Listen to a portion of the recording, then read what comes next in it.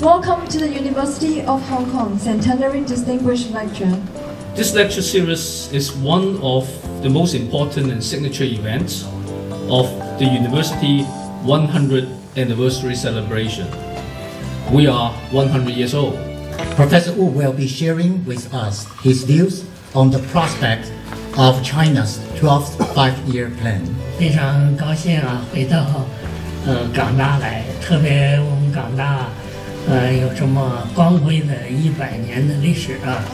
really is the strategic role that central government thinks Hong Kong could play. 那这时候问我说这个中央政府怎么看，这个我答不上来。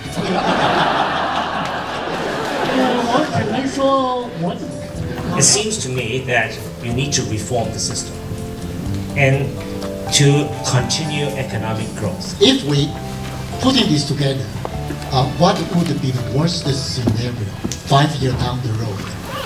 What, in your view, uh, do Chinese companies have to learn about the rest of the world in order to succeed in their own international activities?